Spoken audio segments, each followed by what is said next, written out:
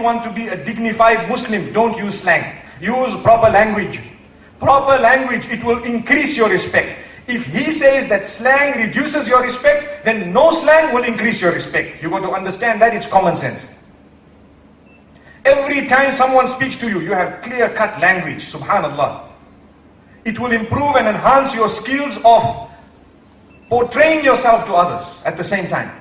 Because you are not used to words which are eaten, words which are chewed, words which are not understood by everybody.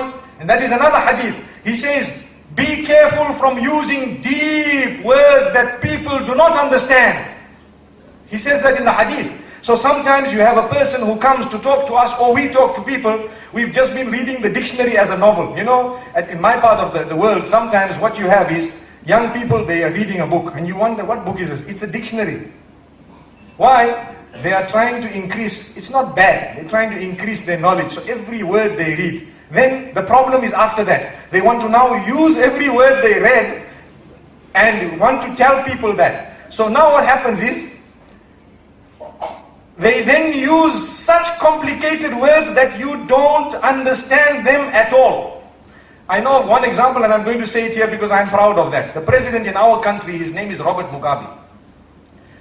Very, very highly educated individual, one of the most highly educated leaders across the globe. He has 14 degrees with him. And when he speaks at the United Nations, if some of you want to Google it and listen to his speech, no matter what he says, I'm not discussing the content of his speech, but I'm discussing the type of words he uses. He uses the deepest and most difficult words, but that is only when he is out on an international platform. What is the reason? He wants to show the British that we have mastered the language better than you. You need a dictionary to understand what we are saying here. and it's a fact because they look at him, they don't know, later on they discuss, the man said, what? What did he say? Now, that is on a lighter note, obviously. Now, let's get back to what we were saying. For us, we should not be using deep words because we don't need to prove a point to anyone. We want to convey the message, إِنَّمَا جُعِلَ الْلِسَانُ عَلَى الْفُؤَادِ دَلِيلًا Definitely the tongue has been kept as a means of expressing what is in the heart. That is what the tongue is there for. So express it easily with simple words.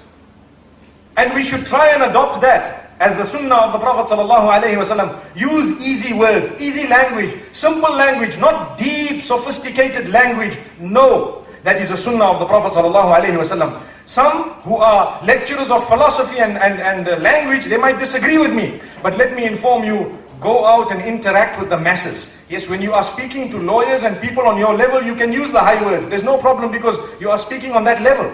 But when you are speaking to the masses, you need to understand, if you would like them to take to what you are saying, you need to use simple, basic language that they use on a day-to-day -day basis. Otherwise, you will not get across. So that was the type of language the Prophet ﷺ used. We said he did not eat his words.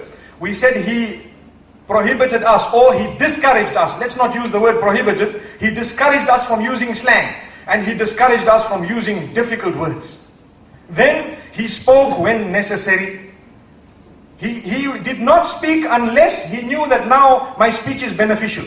Whether it was a joke, he also joked. Remember, the Prophet ﷺ joked even with his family members. How many of us, especially the older people, sit with our family members and tell them decent jokes? In Islam, when we say decent, it must not be X-rated, number one. It must never be about another race or color. Never. Haram. Totally prohibited. It must never ever be about another religion, totally prohibited. The Quran prohibits you to joke about other religions. وَلَا تَسُبُّوا الَّذِينَ يَدْعُونَ مِن دُونِ اللَّهِ فَيَسُبُّوا اللَّهَ عَدْوًا بِغَيْرِ عِلْمٍ Don't ever mock and jeer and joke about others who are calling besides Allah, the gods besides Allah. Because in return, they might start joking about Allah and you were the cause of it. May Allah protect us all. So it is prohibited. Look at how beautiful these teachings of social conduct are. They make cartoons, we will never make cartoons. Never. Not even about their gods.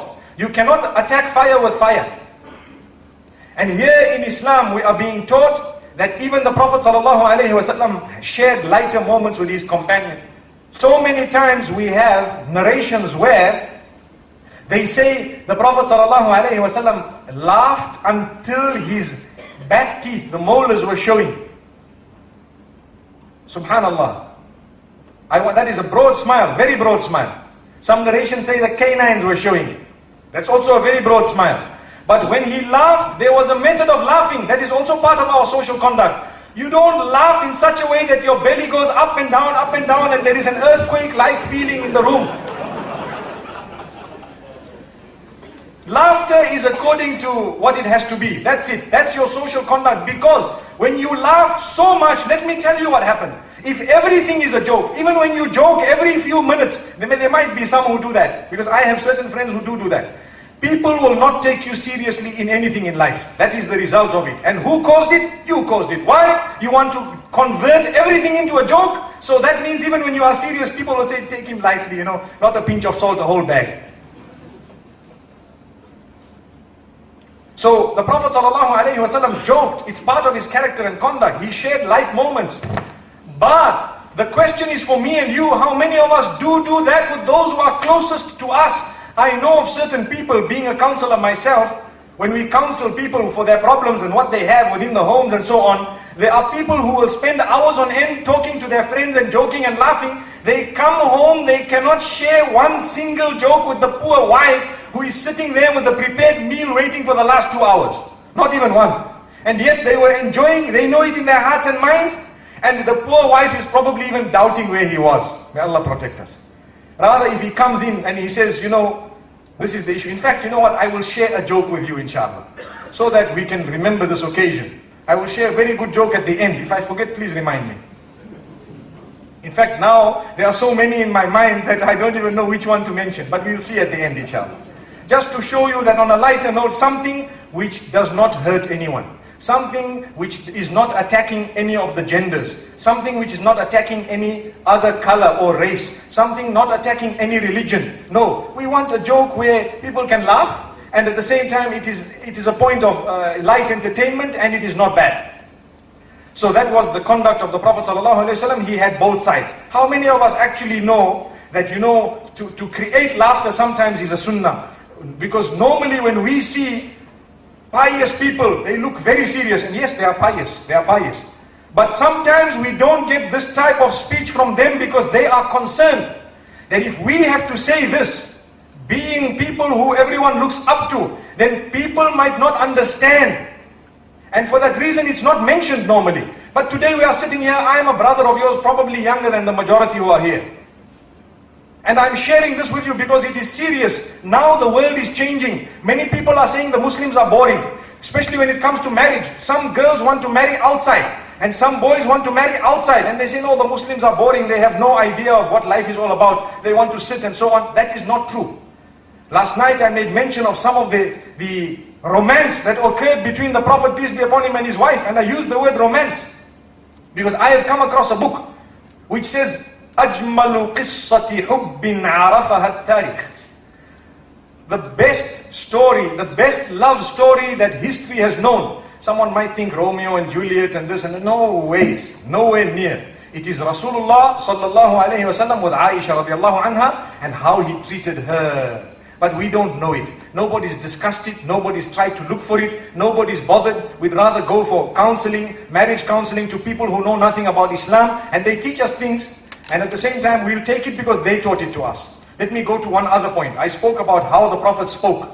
That is a very important point because we speak every single day. How he spoke.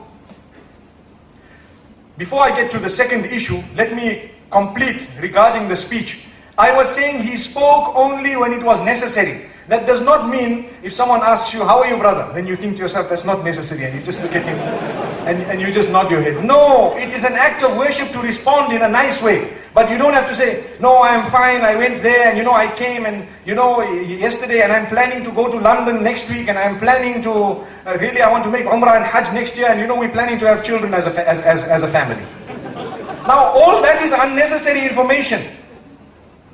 One narration says, "Ista'inu ala qada'i hawaijikum bil kitmani." According to one narration, the Prophet says, sallallahu alaihi wasallam, seek assistance to fulfill your needs by being secretive about it. So you don't have to inform anyone anything. You have a big business project, don't tell anyone, nobody. The hadith says if you want it to succeed, keep it a secret. When it is done,